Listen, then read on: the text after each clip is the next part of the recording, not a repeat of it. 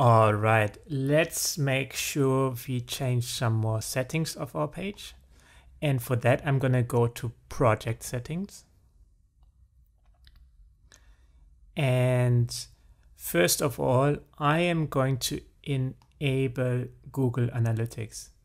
Now, Google Analytics helps us to track users on our website and see what kind of traffic we are getting. And I'm going to make it a bit more privacy friendly and I, as you can see, I have a Google Analytics account. You can sign up for free and they give you these tracking codes. And if you copy paste that tracking code in here, Webflow is going to integrate it into the website for us. So let's hit save. And you can see there are some more things we can integrate. For example, Facebook pixels, which again allow you to track users. It's not super privacy friendly. So I'm avoiding that. Also, Google Analytics is not the best thing to do, but it's a great and cheap option. And if you want to integrate Google Maps or other options, you can definitely do so here. Now, this is saved, and in order to make sure that this is actually working, I'm going to publish it again. And once this is published, this Google Analytics tracking code should be working. Now, the other thing I want to change is I want to change those icons here.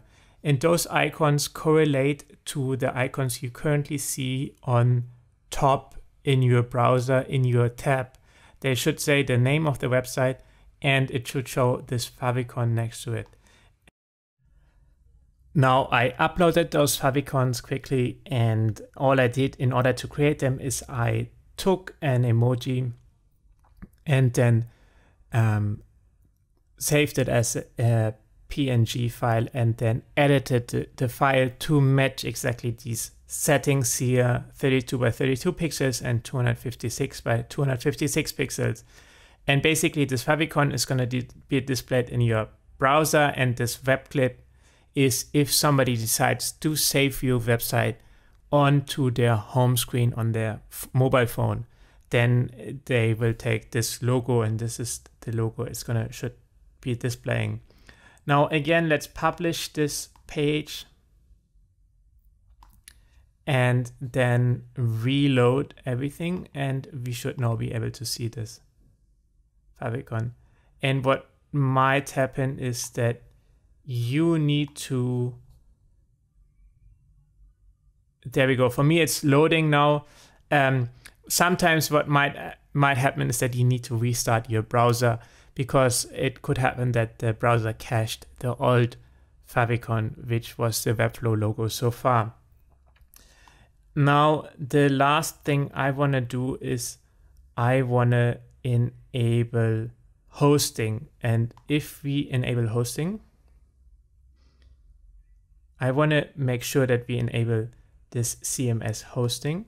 And that allows us to then add a custom domain name for our website and change some more features here. Now, you might say you only want to keep free hosting, and that's perfectly fine. However, I want to really encourage you, if you want to have a professional website, to consider swapping to paid hosting. First of all, you want to have a professional domain name and don't want to rely on a .webflow.io domain name. If you really intend to make business or want to have a professionally looking website. Second of all, we can then remove this made in Webflow reference at the bottom and we can increase the hosting capabilities, meaning that it's loaded even faster. And we can use our own domain name to set up emails uh, so that you can be reached under an email using your own domain name, as well as send those MailChimp emails from an email coming from the domain name you recently set up. Webflow hosting is not the cheapest hosting out there, but it's certainly one of the fastest. And if you want to have a professional website that loads quickly, looks good, and works everywhere, I think it's definitely a worthwhile investment to do.